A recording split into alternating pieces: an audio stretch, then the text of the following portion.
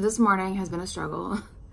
And I laugh even saying that because, um, like, I haven't even left my apartment. But I got up when Danny got up to go to work. So I've been, I, I got up like, it was before nine. It was like 8, 8.30. It was like 8, I think. And um, I stayed awake and I got my shower and I started getting ready because I knew that I wanted like to record some videos. And uh, so shower and everything, shave. I'm trying to make sure I'm staying on top of like the shaving because I could go into labor at any minute and I really just don't want to be a hairy beast and I don't want to be having to shave my legs like at the beginning of labor when I'm having contractions and like I just don't want that. So anyways, that nobody cares about. Oh, and then I get out and I start getting ready and uh like I'm sitting doing my makeup and I'm noticing like I'm starting to get cramps and like numbness in my legs. And I'm like I can't I have to go lay down to finish this. So I finished my mascara laying down. And I was gonna do uh like eyeshadow and stuff and like try and look put together. But so I'm like laying down trying to get the cramps to go away. And then I fall asleep until this was like this was like just before 12 that I laid down to try and help the cramps. And then yeah, it was just before 12 and then um I fall asleep until almost 2. I think it was like 1:30. And so uh I wake up and I have like a little something to eat.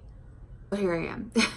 But I think that probably the next couple videos are the only ones I'm going to be able to do. Um, this one and one other um, that I'm going to do with my hospital bags. And actually, I don't know if I've ever addressed the lumps in the bed. Those are body pillows and what Danny refers to as my pregnancy pit. So that no matter which way I turn, I've got a pillow there. And that has helped me tremendously. I bought a pregnancy pillow um, initially, and it was just like regular, you know, old fashioned um, pillow material, which is not very comfortable at all. And so um, I returned it, and then memory foam is like my jam. Like I prefer memory foam. I haven't found anything better yet. Um, Danny bought a pillow that's like full of some kind of, it's like, it, it feels like beans. It's really, really heavy. I don't know why he likes it, but he likes it. Um, I forget what it's made out of, but anyways, uh, memory foam for me. And they do take up a lot of the bed and I feel bad for Danny. I try and like keep them as close to my side as possible, but I don't think that I would have survived without two body pillows on either side of me. Anyway, those are the bags I'm taking to the hospital and those are gonna be in the next video that I talk about what is in them.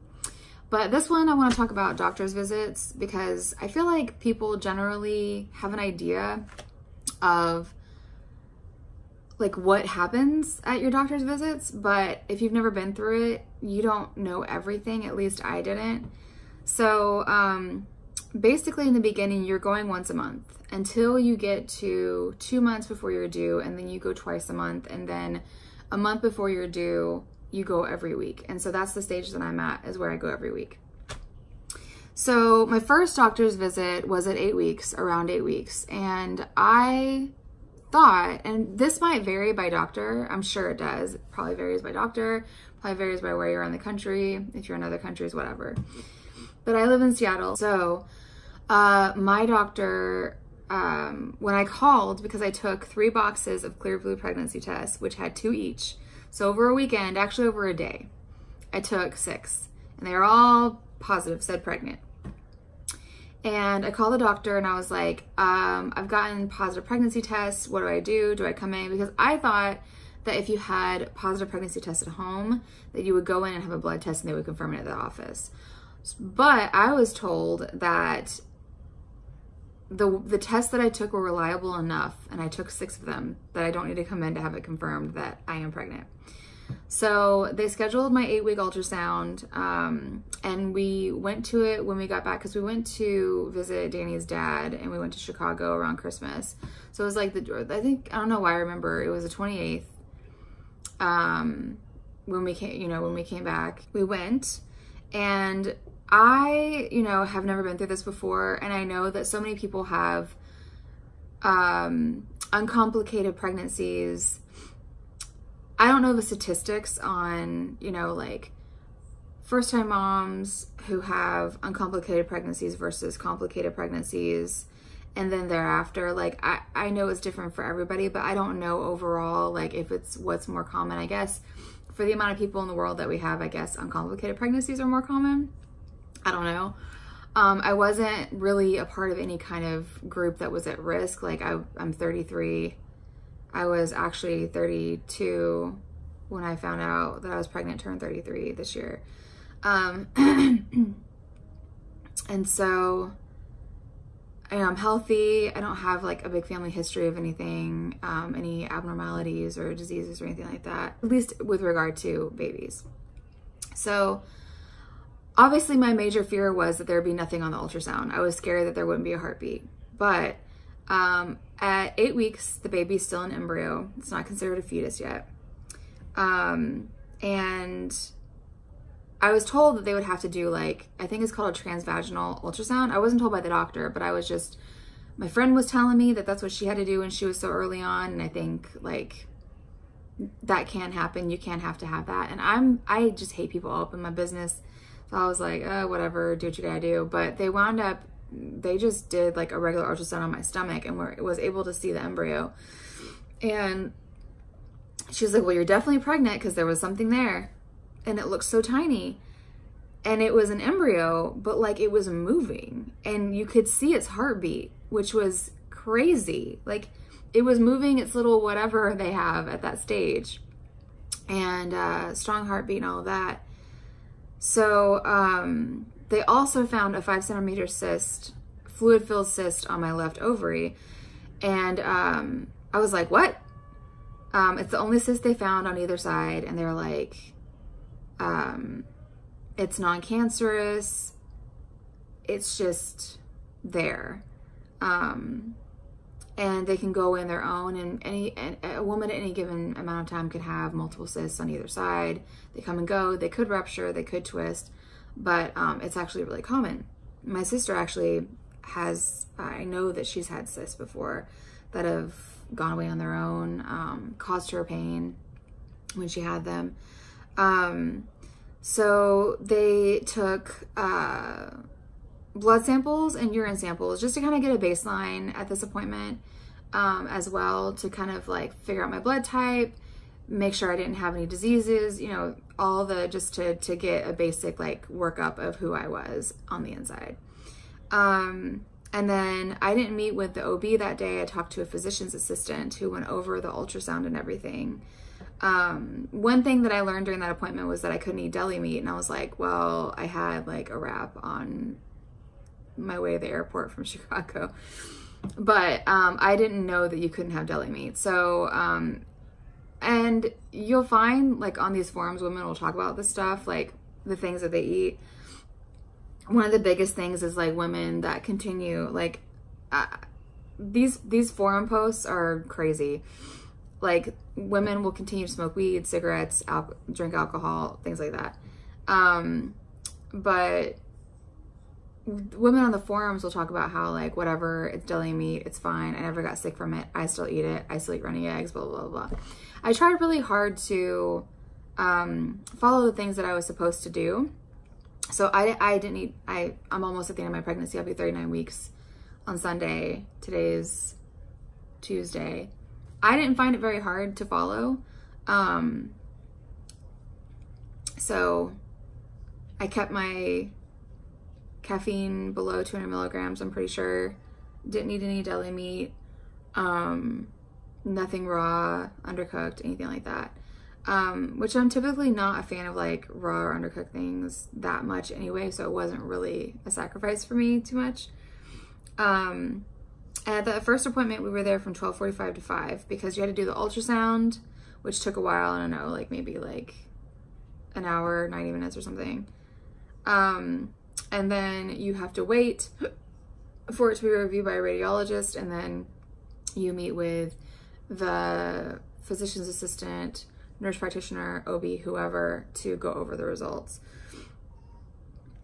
And then, of course, at the beginning of your appointments, when you go back to meet with the doctor or the nurse practitioner, um, you have to take your weight and blood pressure because they track that, obviously, if it's high or low. You could be at risk for certain complications. So that was the first visit. Um, the second visit, we did the 13 week ultrasound, and um, initially, you're doing just the first half of your pregnancy, you're doing so many tests um, just to kind of see how your baby is, if there's something going on. I wanted to do all the tests that there were available um, just for my peace of mind. Um, the thing that we did at the 13 week ultrasound was the nuchal translucency test.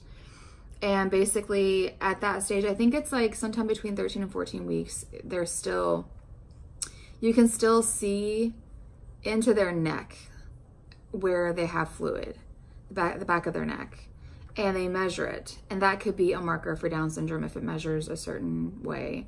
She, hers measured fine. Um, and then they also drew blood for the MaterniT 21 test, which I elected to do. Um, our insurance did cover it. I think that it varies by insurance, but the way to get it to cover it is that, um, well, I mean, it tests for abnormalities. So it tells you if in the blood, because I guess there's enough of, I don't know exactly how it all works, but I think that in your blood at that stage of pregnancy, that there's enough of a trace of fetal blood or something that they can detect the chromosomes so they can find out if there's an abnormality there. And then a byproduct of that is um, you'll see if there's any Y chromosomes. So obviously if any Y chromosomes are present, then you're having a boy, most likely. Those tests can be wrong, I, I, I learned, but they're rarely wrong. Um, and so we did that. Um, and then we actually, when we got the results, I wanted to tell Danny in a really cute way. But again, my plans were foiled because we were having this big uh, snowstorm in Seattle and we were home the day that um, they posted my results because now you have this like online chart and you can access it and that's how they communicate with you and it's really really convenient and I like it a lot. Um, so posted on my chart, um, they were like all the technical stuff, you know, all their findings, and then they're like, stop reading if you don't want to find out the sex. And of course I wanted to. And um, so Danny, I was, I, when, when the email alert came through and it was, and I knew what it was, I was nervous because I'm like, okay, are her chromosomes all right? Or, or well, I know it's a her. Okay. Are the chromosomes okay? Or, and what are we having? Initially, when I very, very, very first found out that I was pregnant, I just kept saying her. I just knew I was having a girl for whatever reason. That was my initial gut reaction. But then, as time went on and I got closer to actually finding out what we were having, I started thinking that it was gonna be a boy because at least um, my family and my, actually Danny's too, it's mostly girls. And my sister has a little girl. My parents had two girls. And I was like, well, it would be kind of cool if we had a boy because there's not really many boys in the family. Um, and then I started just getting really attached to the idea. Um, and so when the results came in, we were cooped up in the apartment, snowing outside couldn't go into work or anything, home for the day. And I was like, oh my God, the results are in. And I know that Danny's main thing was he just wanted to make sure that all the chromosomes were okay.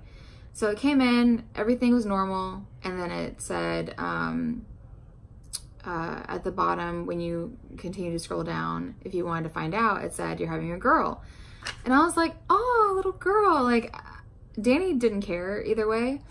Me, like I said, I initially thought I was having a girl. I was sure, like as soon as I found out I was pregnant, I was like, oh, she, she, she, she, she.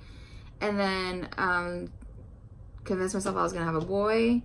And I wasn't, I don't wanna say that I was disappointed. I was just, it wasn't what I thought that I was having. So I was just like, okay. So now I know for sure. and then as my pregnancy went on and on and on, I started doing my research and buying things for her and, and, and, and looking at names and everything. I started getting really excited to be a girl mom.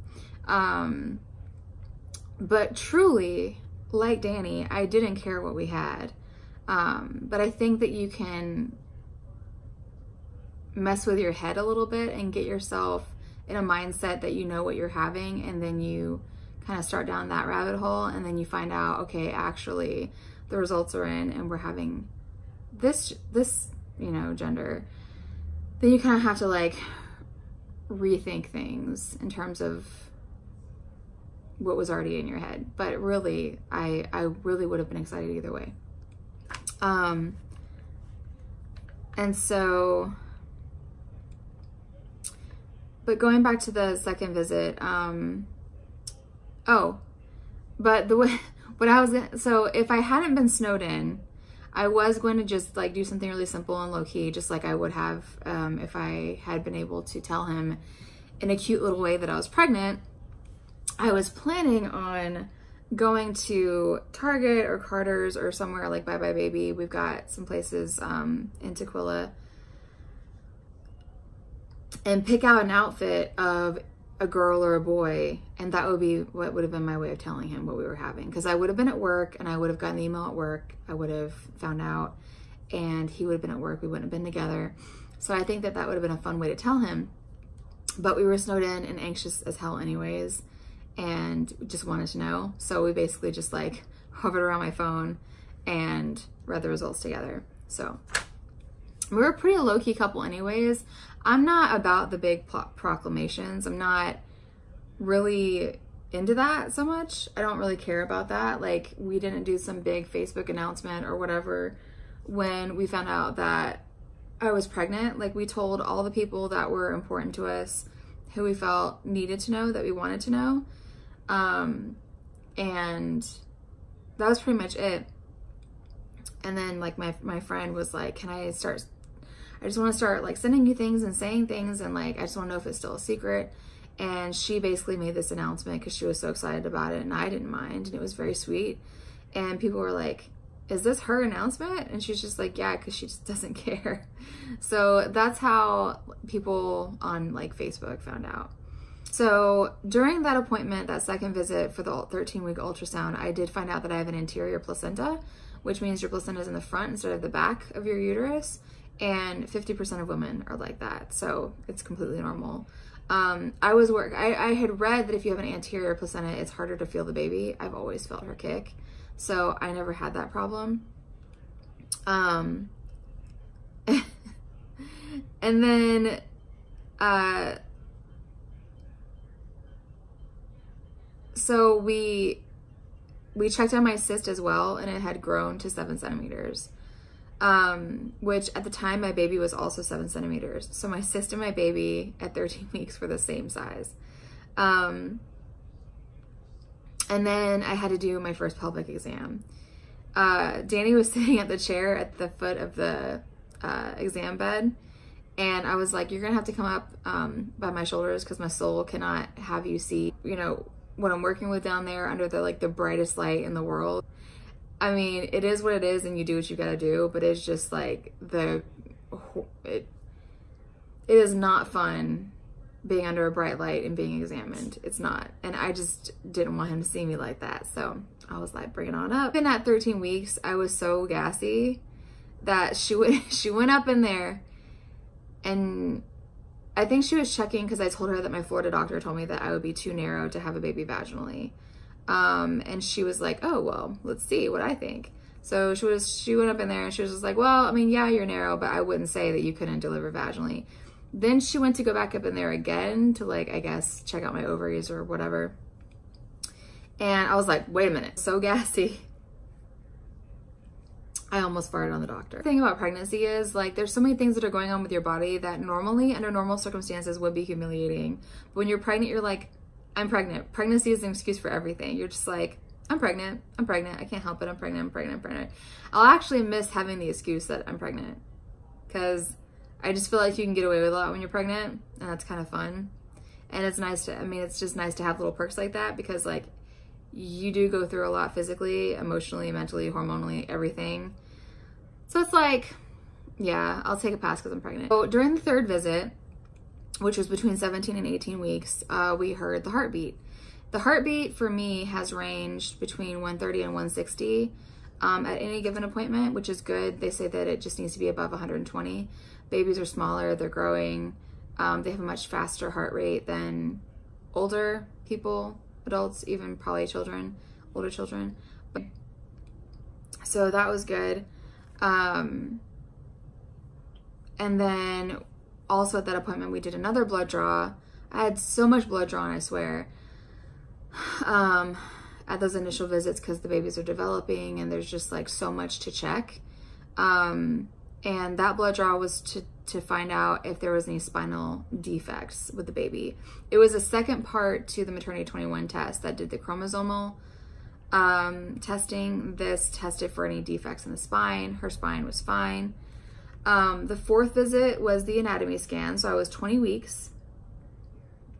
And they found that she was in the 58th percentile, which is good because um, it's around the middle. It's a little bit above the middle, a little bit above average, but it's basically in that curve where she's, you know, average, which is good. Um, and my cyst had grown to 10 and a half centimeters. Uh, I was getting really worried about that. I'm like, is it going to stop growing? Because the concerns with those are it could rupture, which if it ruptures, it's painful. If it twists, it can cut off blood supply to your ovary and your ovary could die, which that's scary. Um, or it could like shrink and go away. Um, on the ultrasound though, even though I, my, my, I guess my, my guess, I guess my guess, um, for when I got the results No, it was at the 13 week ultrasound that I like got a vibe about her. So, um, backing up for like just a second. Um, when we had the 13 week ultrasound, the same day that I got my blood drawn for the MaterniT 21 test, I got confused for a second because I was like, I had written this down for the 20 week, but by the 20 week, I already knew what we were having. So at the 13 week ultrasound, um, she was just the way that she was moving i just got girl vibes but i was like well that doesn't the way she's moving doesn't mean anything. I just that's crazy. But i did get girl vibes when i saw her on the ultrasound and it was so cute because i was laying there with my ankles crossed and in the ultrasound she had her legs crossed at her ankles which was really really cute. Um i'll always remember that. But back to the 20 week anatomy scan um she pretty much the whole time since I could feel her move has moved a lot. Um, and I just, when I see her moving on an ultrasound, I feel like I can kind of get an idea of how her personality is. Um, and it just always made me so happy. And I, when I would be able to see her on the ultrasound, I could just stare at it all day. Um, those were really cool times when we were able to see her it gives you peace of mind tremendously um, because especially your first time being pregnant you just you always wonder if everything's okay in there. Because you can hear about things going wrong and it's beyond your control and when you can see that everything is okay it really brings it brings you back down from the worry that you feel. So at the next visit, which is like the fifth visit, I was around 24 weeks and they start doing the belly measurements and um, the regular weight and blood pressure, the belly measurements, and the Doppler at each appointment just to monitor her, um, how her heart is, is beating, making sure that you're on track with everything, that your blood pressure is good, that she's growing okay. Um, and then at my 28 week appointment, that's the big one where you do the glucose testing. So um, I got the flat lemon lime chilled drink.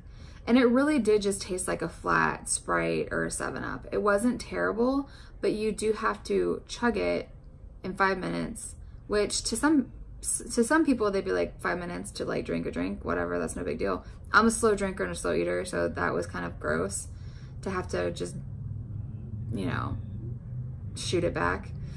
Um, and then within an hour after that, you have to get your blood drawn. uh, to make sure you passed, and I passed it. Um, and then also at that appointment, um, because I have Rh negative blood, I had to get a RhoGAM shot. I thought it was a shot in the arm. It was a shot in the ass. Ugh. Of course it is. And then actually the one that wound up really hurting was the Tdap shot. So it's like for tetanus, diphtheria, something, I don't know what the A is, but P is pertussis, which is whooping cough. So you get a shot for that. It's supposed to really help the baby, I guess, boost them and make sure that they don't get whooping cough. And I think after you're they're born, they get a shot again. But um, I had had a tetanus shot in 2017 um, because we had these asshole roofers that took no care with where they threw all the roofing um, tacks and I stepped on one and I had to take a tetanus shot as a precaution. I remember like it was, my arm was in a lot of pain after I had that. So I had similar effects with the Tdap shot. I had pain and swelling at the injection site, extreme fatigue. I think I took a nap that night. Um, sore throat, which I took Tylenol for, and diarrhea. That brings us to June where I started having appointments twice a month. Um, and those were pretty standard. Just weight, blood pressure, measure the belly, listen to the baby's heart. Um, and then at 35 weeks, I had a doctor's appointment. Um, and the previous appointment I met, because like sometimes you meet with your OB and you can only have so many appointments that you can meet with nurse practitioners or physician's assistants before you have to meet with your doctor. Um, you can't, you don't, you, the physician's assistants and the nurse practitioners are there to take some of the weight off the doctor. So you don't meet with the doctor every time, or at least I didn't. Um, so I had had a previous appointment with a nurse practitioner and she had measured my belly and said that it was like a centimeter or so behind. But I had noticed that where she started, because like my doctor would start way low on my pelvis. Like, so I was thinking, okay, maybe I was measuring differently with her because they had different starting points because the the nurse practitioner didn't start as low.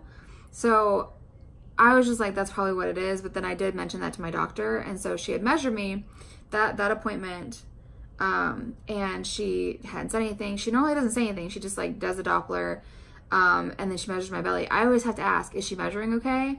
What's her heart rate today? You know, like I have to ask. She doesn't just tell me.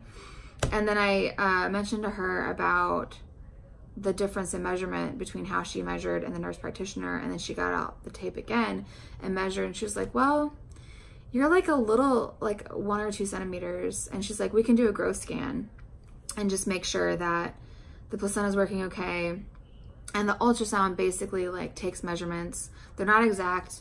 I mean, ultrasounds can be inaccurate with regard to due dates and, and size and weight and everything. So um, it's as accurate as it can be, but obviously, like when the baby's born, a lot of times the ultrasound can be off.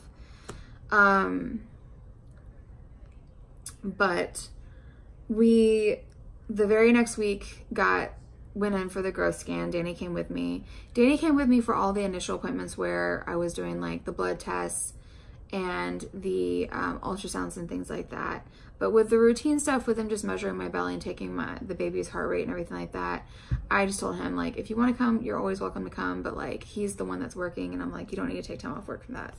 But he did go with me to the um, the growth scan, and so um, she measured every part of her and then basically like it calculates what percentile she's in. So it measured she was in the 62nd percentile, which is still a little bit above average, but basically in that curve of where she's average size baby. And they estimated that she was at six pounds at 35 weeks.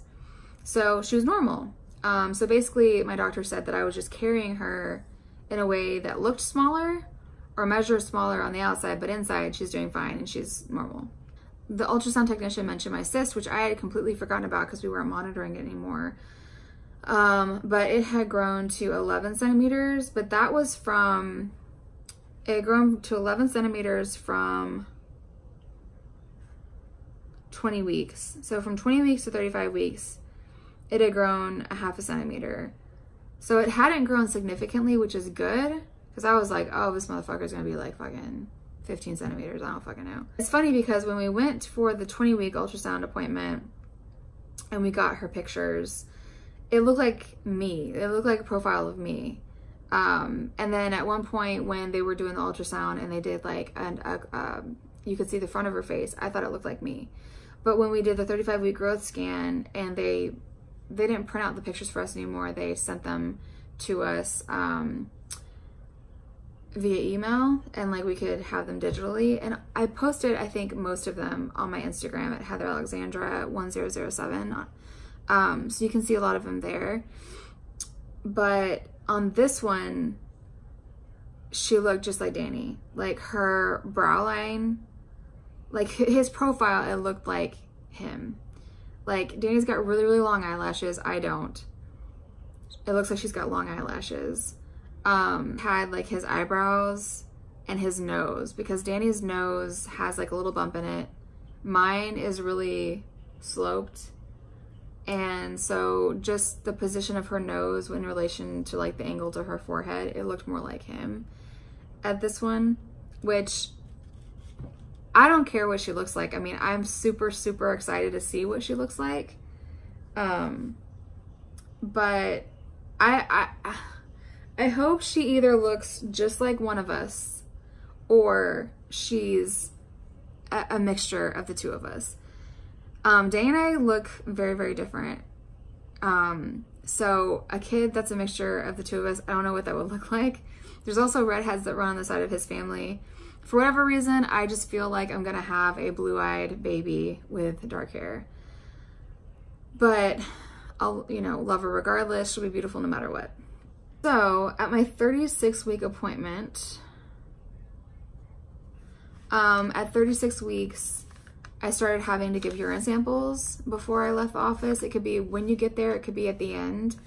Um, and then I had my first cervix check, which the cervix checks hurt like a motherfucker. She go, she went up in there and then it felt like she turned a corner. And I was like, I was like, stop, just stop. This hurts really fucking bad but she was able to find that I was already uh, one and a half centimeters dilated, and she said that she was really low, that she could feel where the baby was. So, um, you don't have to do, well, I mean, you don't have to do anything, but like, they don't recommend that you have to do a, cer a cervix check every time you can from 36 weeks on. I didn't do it at my appointment this past time because I'd done it at the appointment before. I don't know if I'm gonna do it my next appointment um, because it, it does hurt and I just, I don't know that it's absolutely necessary. I mean, I'm going to go into labor when I go into labor. I don't necessarily need like a predictor of it. It's going to happen. And then obviously like when you go into labor or if you're late, they're going to have to check your cervix anyway. So I'm just kind of cool to like not have it checked, honestly. So I don't know what she's gonna recommend. I'll do whatever she recommends. That's kind of been my mindset for the for the pregnancy is like, look, whatever's best for my baby, whatever's best for my health, whatever you recommend, I'm gonna do. But if you're telling me it's elective and I don't need to do it, then I'm probably not gonna do it, like with regard to a cervix check. And I also had to do the um, group B streptococcus swab, where they just take a Q-tip, swab your vagina and your butthole, and find out if you're a carrier. Which I found out that I am a carrier. Um, and I'm like, well, what the hell is this? Like, I don't know what this is. Is this a STD or what? And she's like, no, it's not an STD. It's basically bacteria in your intestines that can also be found in your vagina. Men can have it too. 25% of healthy women, I, I read, um, have it at any given time. One weird thing about it is you can test for it at one time, positive, and then another time if they swab you, you can be negative for it. So I guess that's why they swab at 36 to 37 weeks when you're closer to like the end of your pregnancy. Um, because all that does is lets them know that when you're in labor, you have to be treated with antibiotics. I think that she said that they use clindamycin. Um, and what it can do to the baby is when the baby comes out vaginally. I think that if you have a C-section, it's not something you have to worry about because it's like the, in the vaginal area. So your baby wouldn't come out of your vagina if you're having a C-section. But um, I'm going to try and have a vaginal delivery. Obviously, there's no indication that I would have to have a C-section at this point. So, um, basically, if the baby comes in contact with it, you're not treated with antibiotics. The main concern is that they can get meningitis, but they can also get other respiratory issues. Um, but even, I guess, even if the baby comes in contact with it, doesn't necessarily mean it's going to affect them, but it can make them really sick. So, um, and then they also had paperwork at this appointment where I had to sign for uh, a blood transfusion should I need it on the big day and a C-section if it's necessary. So obviously if the baby's in distress and I can't get her out, obviously I'm gonna have a, C-section. I already turned in my pre-registration paperwork at an appointment or two before. So that just makes it easier for when I have to go in when I'm actually in labor. It's just less that you have to worry about when you're dealing with labor which makes it so much easier. So that was already done. And that's pretty much where I'm at basically. So, um, 37 week appointment. It was normal. Um, just, I didn't uh, do the cervix check and I did my regular weight, blood pressure, measured my belly, and um, heard her heart rate. Um, And then my next one is this Thursday, and then I have one the Thursday after that. And then I'll be due, so they'll be monitoring me um, and just making sure I don't go too far past my due date. I don't want to induce unless it's absolutely necessary. Um, I'm hoping that she'll come on her own. Um, it's been really, really cool kind of seeing how your body goes through pregnancy and it just knows what to do. And with all the pain that I've been having and that I was already dilated, at that one appointment where they did my cervix check um, at 35 weeks, 34, 35 weeks, whatever it was, um, I feel like is a good sign that she'll be on her way and she'll be on time. I, for whatever reason, feel like she's going to be a week early. I feel like she's going to come on the 39th week, like that I'm going to go into labor on July 31st, somewhere around there um, just because there's been a lot happening. Uh, it feels like she's just getting ready and she's definitely ready to come. So pretty much it. I, I, I found the, the visits interesting. Um, I told Danny that it, it, has felt like it's been a science experiment for me, um, going through pregnancy because I'd never been through before and didn't know anything that I could expect. So, um, I really wanted to make sure that I wrote down key things that occurred at each appointment because um, maybe someone else will find it helpful if they've never been through it either. Um, every part of this experience has been very, very interesting to me. And um, I'm happy to have gone through it. I'm grateful that everything's been good so far. And I'm really excited to meet my baby and to um, you know, I don't want time to, to fast forward or anything like that, but these last few weeks are rough and you're very uncomfortable, but I'm very thankful that um, I haven't had to work the second half of my pregnancy so I can take it easy. A lot of women don't have that luxury and I feel for them. Um, but now yeah it's definitely the time when i have to like wind down and take it easy because um if not i definitely feel it physically so yeah i think i'm gonna do my hospital bag video now um i probably have forgotten things in it but i think i have all the essentials so hopefully i'll be prepared